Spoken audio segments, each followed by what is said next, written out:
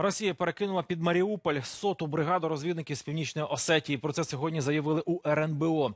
У самому ж місці після п'ятиденної перерви знову чути звуки залпів. Іван Гребенюк традиційно з інформацією з південного форпосту.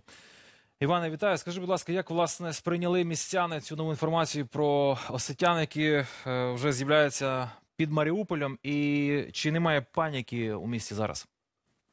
Руслане, е, вітаю численні повідомлення про активізацію диверсійних групувань на під'їздах до Маріуполя. Вороже поповнення під Новоазовському кількості 100 бойовиків. І ось дійсно нова тривожна звістка. Тут бригада розвідників з північної Осетії, яку перекинула Росія. Зафіксувати їх вдалося українській розвідці. На жаль, і це ще не все. Маємо дані про прибуття бойової техніки з Росії, яка раніше разом з іноземними військовими дислокувалася в Ростовській області. Ось що з цього приводу кажуть в РНБО.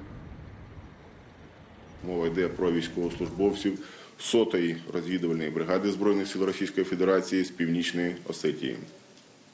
Ворог веде активну повітряну розвідку за допомогою безпілотників. Сили АТО готові дати відсіч будь-яким агресивним діям з боку противника.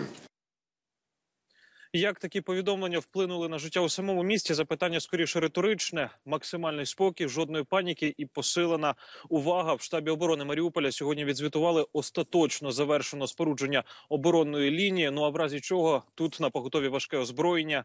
Ну і щодо наших військових, усі вони несуть службу в штатному режимі без певного занепокоєння. Щоправда, сьогодні е, все ж таки у Маріуполі не обійшлось. Чимало громадян дзвонили на гарячу лінію у місті. Повідомляли про численні колони військової техніки на вулицях, але у штабі заспокоюють. Відбувається це ротація наших солдат.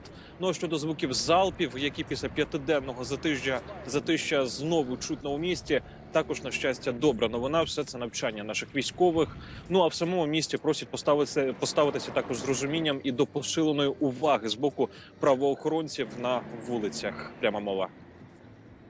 Проводится проверка документов граждан, досмотр личного автотранспорта и другие необходимые мероприятия.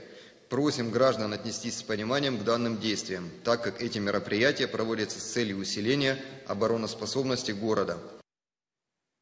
До слова, чого тільки вартує мінування місцевого гіпермаркета, в якому знайшли підривний механізм від протитанкової міни ТМ-62. Відтак заходи для виявлення диверсантів тут і дійсно реальна необхідність. Такі у нас новини тут зараз. Руслане.